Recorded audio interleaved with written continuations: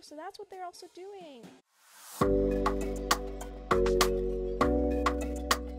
Hey everyone, welcome back to the episode. I'm Londi Bridges, and today we're back with some more Beacon Pines, and we're actually picking up exactly where we left off. We have two options. One, we can go back and accept Iggy's request to sacrifice himself, or we can avoid that because that's too much emotion for right now, and go back and interrogate Mr. Tolliver for the third time. And I'm actually leaning more towards Mr. Tolliver. I think that if we do, uh, we'll be able to hopefully find out more about what Gran's been up to.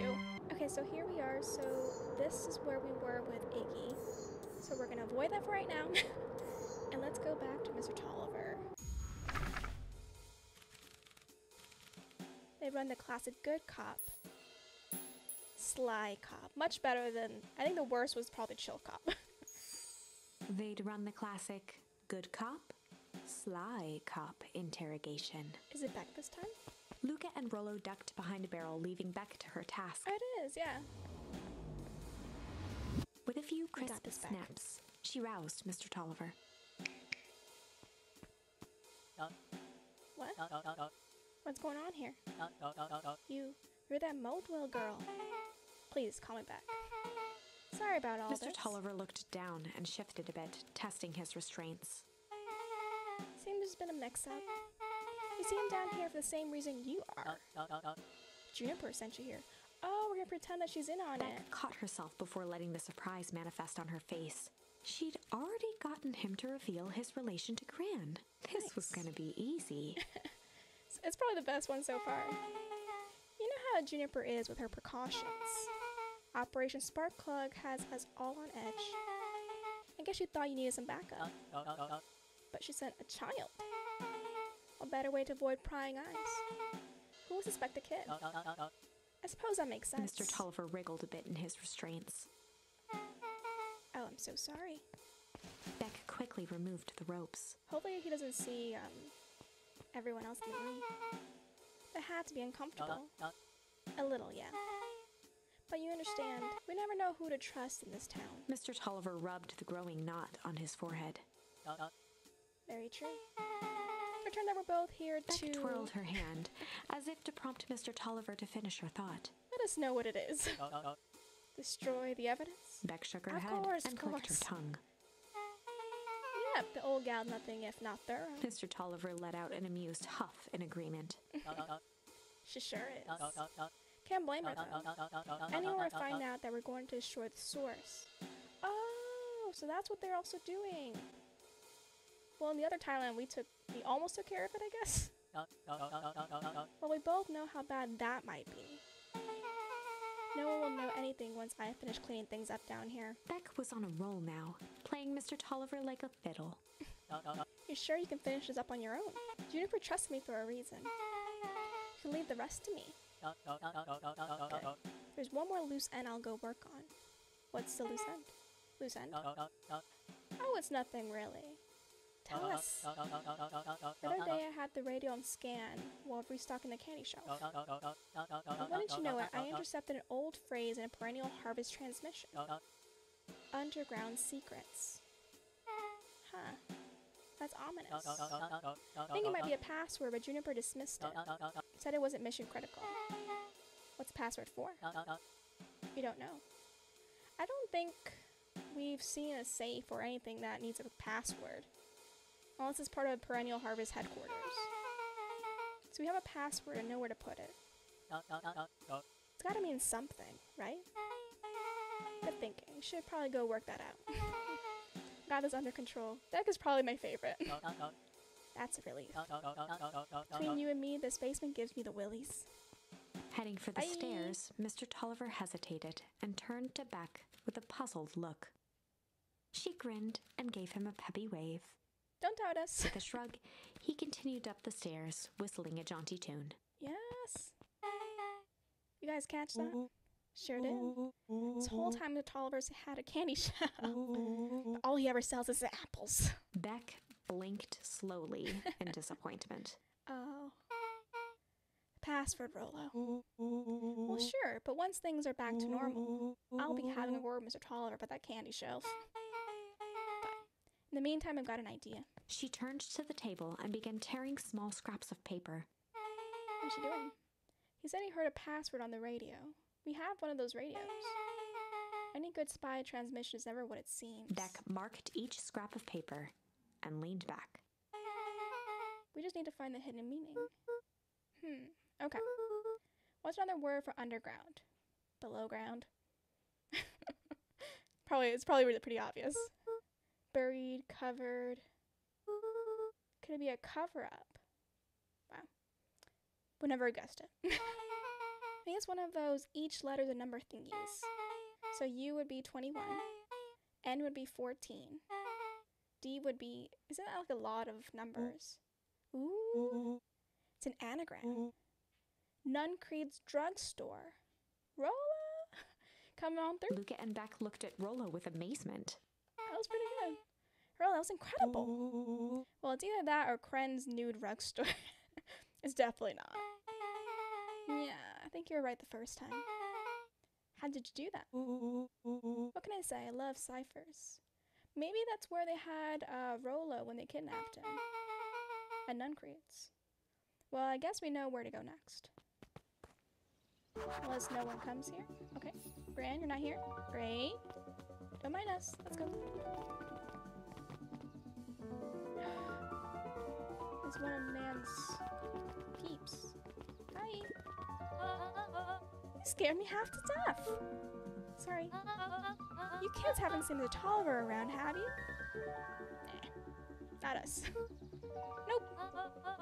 It's got me waiting around like the last slice of pie. I swear that man would be late to his own funeral. It has nothing to do with us. You stay here. We're all good. Okay. No one to be found, we're all good. So let's head over.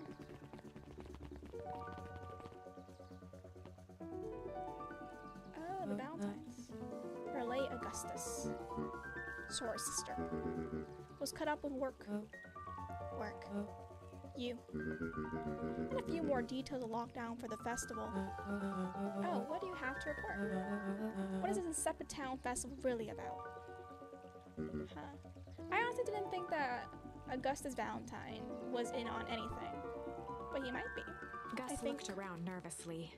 I think Mr. Kerr really does just want to do something good for the town.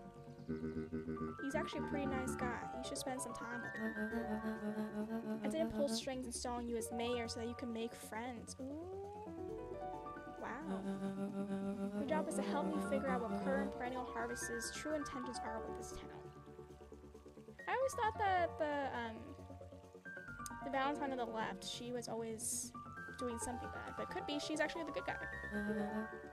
We have a responsibility. This is our father's town. Was. Excuse me? This was our father's town.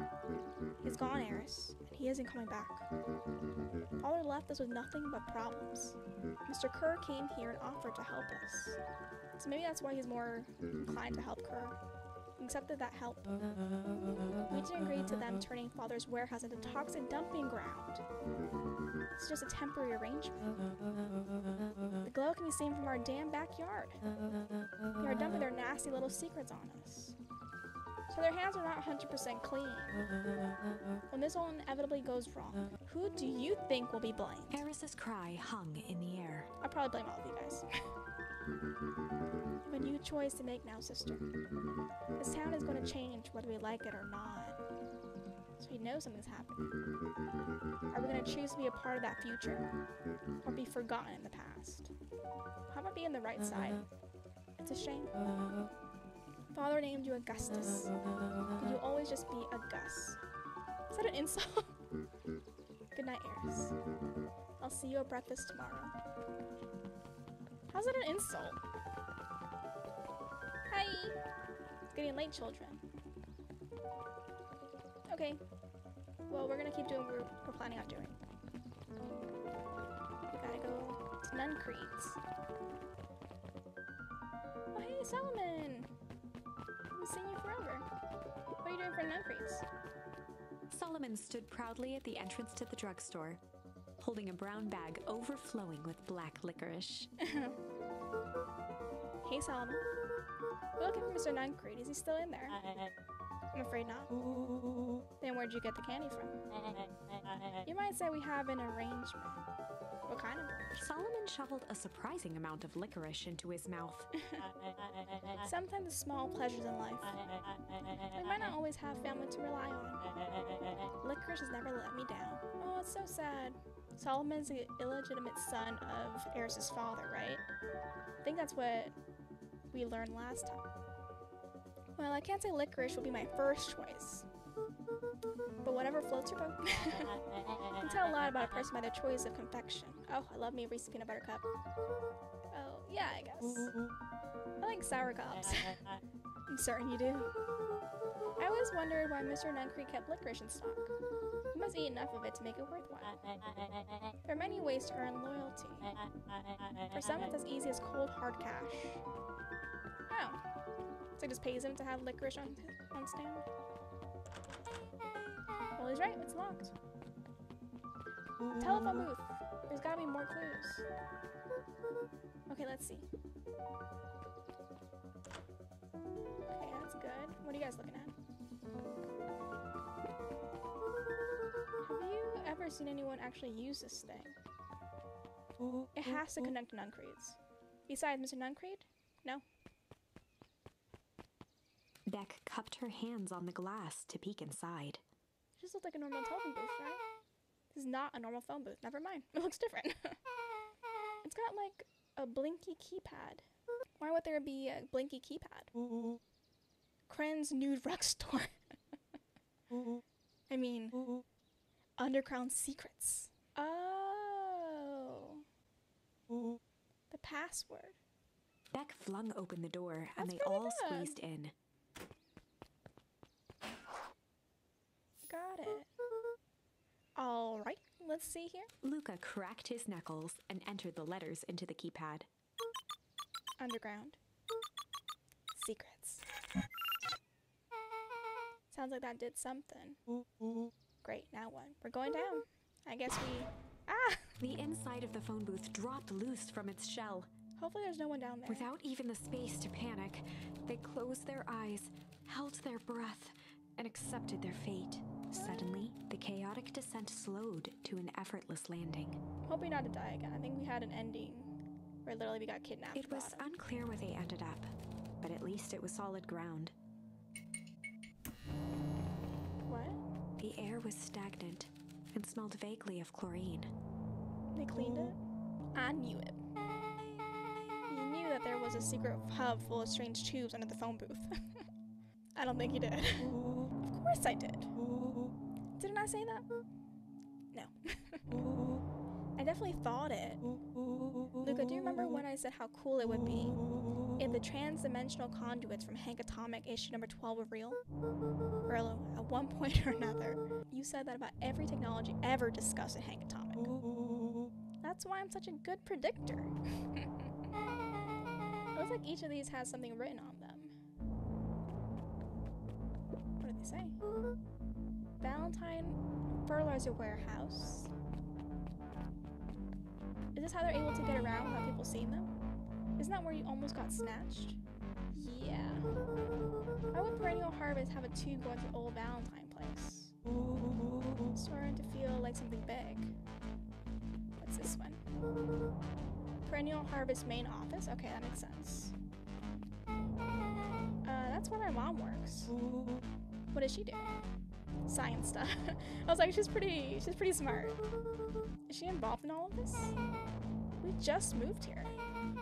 How could she be involved? True. That's fair. Maybe she knows something. Mining Operations Alpha. So is that in the real Beacon Pines? You guys have mines here? Not that I know of. This town is all farms and fertilizer. A series of tubes. Pa always says you can only trust a miner up to the point when they hit gold. Not sure how that wisdom applies in an exact situation. The thing about Pa, you don't always realize what he means until it's too late. Hmm. Can you mess with this? No. Um, this suit has a broken mask. Was that the one that Gran had? That she borrowed? So have we found our mystery warehouse creeper? We at least found their hazmat suit. That walks like an uncreed and talks like an uncreed. I don't think it's an uncreed. Let's not jump to conclusions. Because Gran tried to knock him out with that that jam. Just saying. Now we can check out the panel. That's a lot of buttons. Truly is. Set aside Earthlings, I've read enough Hank Atomic to know my way around sci-fi tech. Rolo's hands hovered over the field of blinking buttons. I wonder if he knows what to do. Eeny, meeny, miny. He doesn't. Uh, wait. Yeah, Rolo, what did you do? Nothing. How'd you even mow yet? Is someone coming? What was that? Hide. Where? Nothing but weird tubes down here. Just get back. Just gonna stand here? None Creed. Wasn't us. awesome. You all need to come with me now. We aren't going anywhere with you. Not until we get some answers. Honestly, regardless if we get answers, we're not going with you. Mr. Underground Secrets. I told them it was an absurd password. But they love anything that makes them feel clever. They who? That's no matter. If I can keep you hidden until after the festival, I might be able to save your skins. I don't think Nuncreed is a good person, right? Because I know Gran. seemed like Gran and him were at odds. Unless he really was on Gran's side. We don't care about our skins. Hold on now. I like my skin. This all stops now, Nuncreed. Joseph waited for a moment in silence. I was like, who's Joseph? Oh, it's Nuncreed. Sound just like him. Is his dad? Who? Walt. You don't get to talk about my dad. You know, your father and I were friends back before. He gestured toward the strange tubes. Oh, so dad knew about this. All of this. That's a lie. It's true. I used to bounce you on my knee. What happened?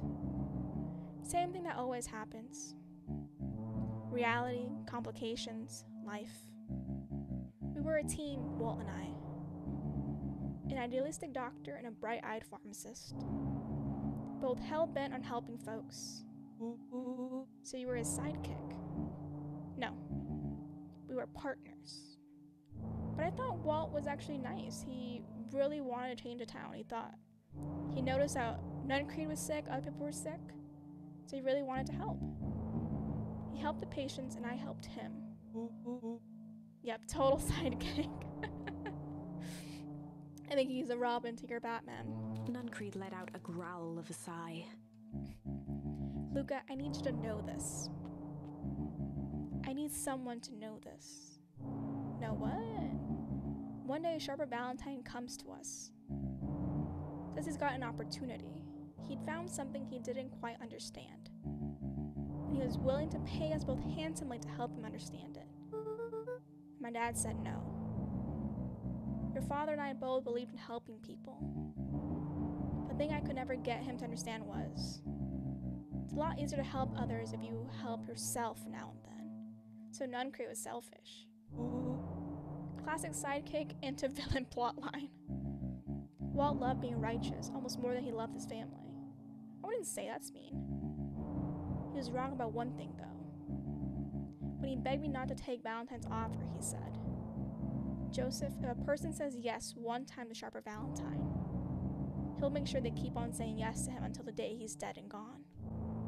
He shook his head wistfully. Sharper's long gone, but he's still got me saying yes. But how? Valentine's don't seem to be like really into it. They know something's happening. So whoever um, the main guy in Perennial Harvest works for, is he related to our a Valentine? Is there a point to this sob story? Not really, no. Just an old man trying to delay what needs doing. Oh no, what are you gonna do to us? Nuncreed took a menacing step towards the children. How about we get back in the little elevator? I try to keep you safe. I try to keep you and Juniper out of this. You did nothing. But you forced my hand. Luka began to laugh. what? You really don't know. My gran isn't out of this. She's been scheming right under your nose. Juniper! Seems like she's planning on crashing the town's party. She's going to disrupt the festival. Why would she? The color drained you're not a nice from Nuncreed's face. Oh my goodness, he like seems really upset. How does she know? Apparently she knows a lot of things. What? Let's just say this isn't the only underground lair we busted into today. and honestly, hers is way cooler. I would agree, honestly. She's got maps, explosive, bad intentions, and jam, of course. Big man. Nuncreed grabbed oh. Luka by the shoulders. His eyes were frantic. You need to tell me what she's gonna do right now. Nope. I ain't doing it. She should understand what it is she's messing with. I, uh... Tell me now she's in danger, boy. I don't know. She had a map with a mark on a fountain in town square. Fountain? But why would... A jolt of realization struck Mr. Nuncreed. That so the, where the fountain is currently is where in the old Beacon Pines there is a source. Are they connected? So she knows about the source, so they must be connected. What the heck is the source? If she tries to destroy the source, it could catalyze and dear gosh, it's gonna freeze us all. So is it Gran that did it?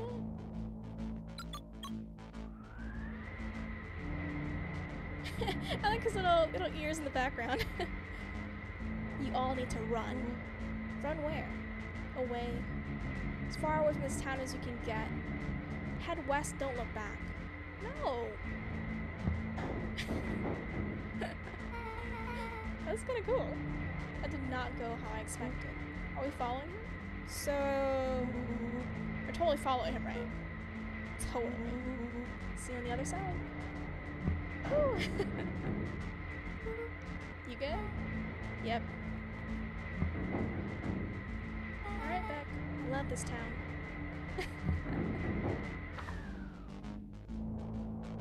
Chapter 8 The Cold, Hard Truth. Nice. Beck leapt up, allowing the suction to yank her into the dark. Dimness eclipsed around her like the shutter of a camera as she seemed to cover great distance in mere moments.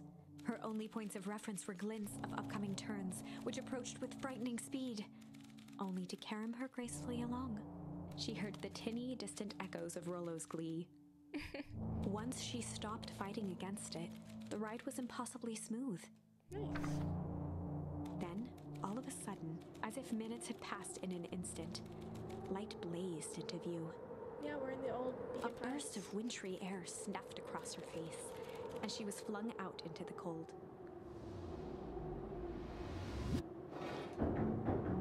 Oh, that's where that leads to. That was intense. Yeah. I think I might have parted with some fluids in there. Any idea where we are? It's somewhere cold. Doesn't look like it got on any of us. Didn't feel like we traveled that far. So where did it all go? I like how Rolo's having his own little conversation. This place sucks. Why would anyone even want to blow something up out of here? Only one way to find out, I suppose. Try to catch up to Nuncreed think he went this way. Alright, I think we're gonna stop it here for today.